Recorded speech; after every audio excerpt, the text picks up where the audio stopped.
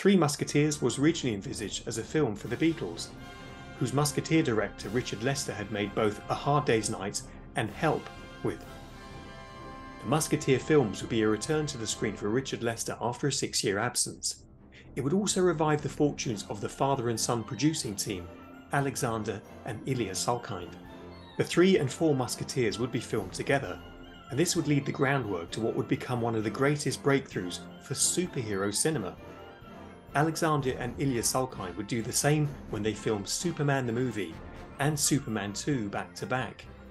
Richard Lester would join them for Superman 2 and later again for Superman 3.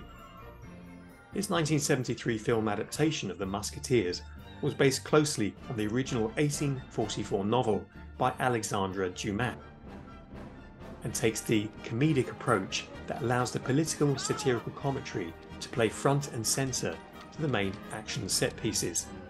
The cast is a who's who of 1970s cinema A-listers. Oliver Reed, Raquel Welch, Richard Chamberlain, Michael York, Frank Finlay, Charlton Heston and Faye Dunaway, and scene-stealing comedy turns from Spike Milligan and Roy Kinnear.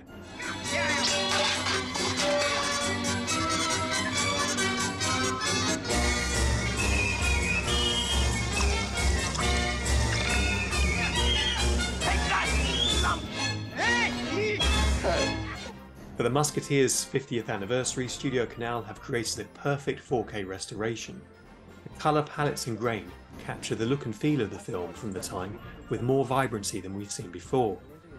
Cinematographer David Watkins' work shines here. Watkins used available light and bounce light to create a natural and softer look, giving the film an authentic period setting. Watkins went on to create one of the most iconic moments in British cinema with his work on Chariots of Fire in the film's opening race on the beach, and would later win an Oscar and a BAFTA for his work on Out of Africa.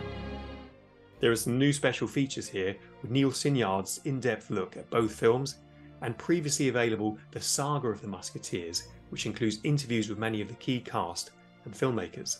When they were released, both films were hits with both the public and critics. The Four Musketeers garnered an Oscar nomination for Best Costume Design marking the first time that a sequel received a nomination when its predecessor was overlooked. I've always been a great fan of these Musketeer films, and it's great to see them getting the right royal 4K restoration treatment. This was not the first Musketeers film, and there have been several remakes since, but for me, this is the one that had the perfect chemistry of casting, elegant filmmaking, and a razor sharp wit from the original novel and screenwriter George MacDonald Fraser. All for one and one for all. Well, check out my other unboxing videos here on my YouTube channel and find out how you can win too. Good luck, and we'll see you next time.